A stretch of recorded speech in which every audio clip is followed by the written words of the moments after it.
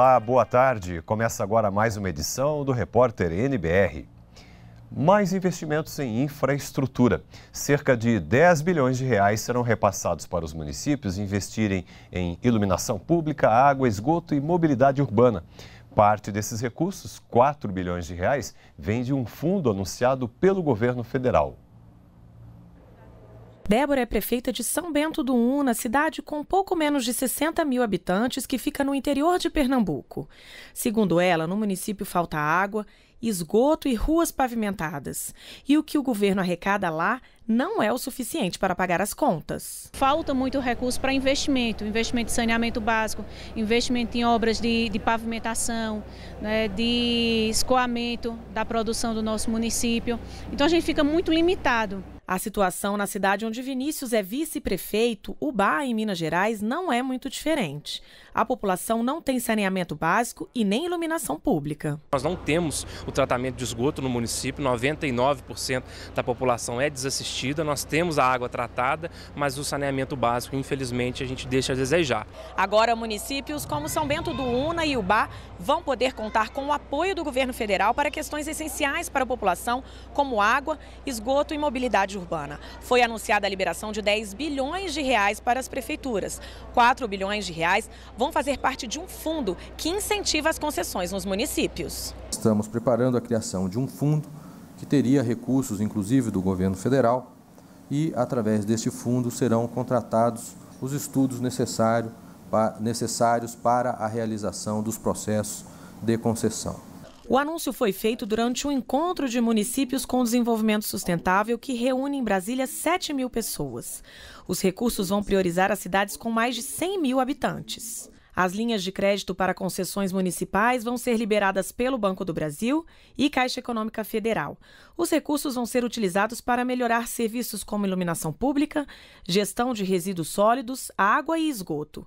Outros 6 bilhões de reais financiados pelo FGTS vão ser liberados para obras de mobilidade urbana, como recapeamento e pavimentação. A Caixa Econômica vai apoiar os municípios no processo de elaboração das concessões e parcerias público-privadas, com capacitação dos funcionários das prefeituras e realização de estudo de viabilidade técnica. O governo federal está preparando um grande pacote de orientações de como fazer concessões. Fazer um empréstimo é fácil, fazer a concessão é um grande desafio para todos os municípios brasileiros. Então será entregue editais, projetos, estudos de viabilidade técnica e econômica disso, é, é, dessas concessões e a Caixa é quem vai apoiar cada um desses municípios. Essas são iniciativas que, como eu disse, o governo federal vem adotando no sentido de complementar a sua estratégia geral de retomada do crescimento, que começa pelo saneamento da, das contas públicas, a adoção de amplas reformas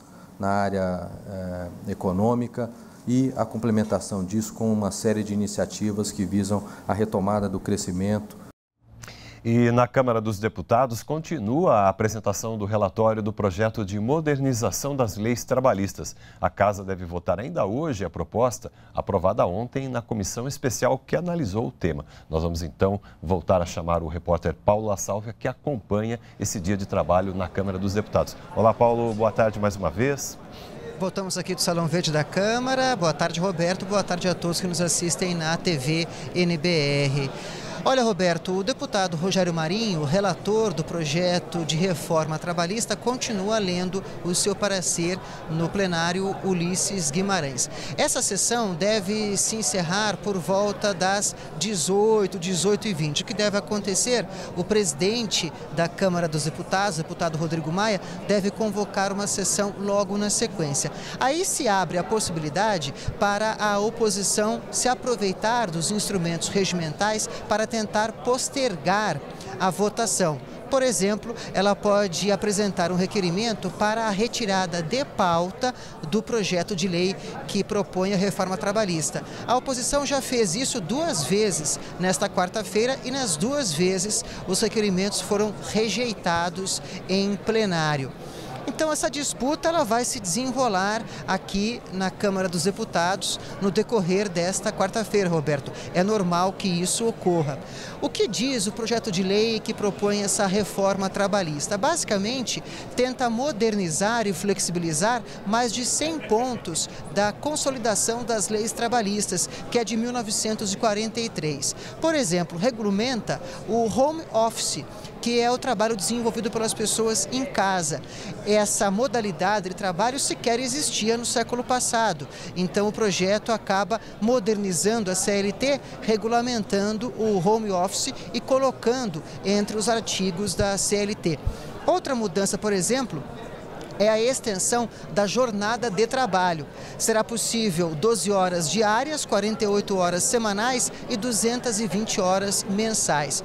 Mas é importante salientar que isso só a partir de um acordo entre empregados e patrões, que pelo projeto de lei passa a ter força de lei como a CLT. Hoje em dia esses acordos, quando chegam na justiça, são derrubados e muitas vezes os patrões acabam sendo penalizados.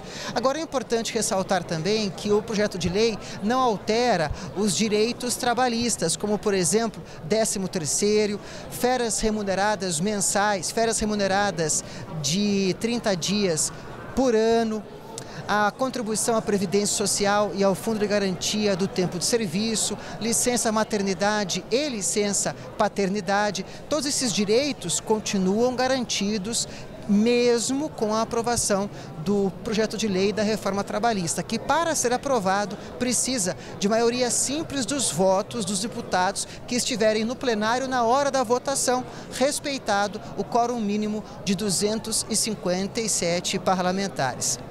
Roberto, vamos continuar acompanhando como que vai ser o desenrolar desse processo. É isso, Paulo. A gente continua seguindo aqui então o andamento aí. Muito obrigado pelas informações. E nós ficamos por aqui, voltamos às seis da tarde na próxima edição do Repórter NBR. Outras notícias você acompanha em nossas redes sociais. Tenha uma ótima tarde e continue com a gente aqui na NBR, a TV do Governo Federal.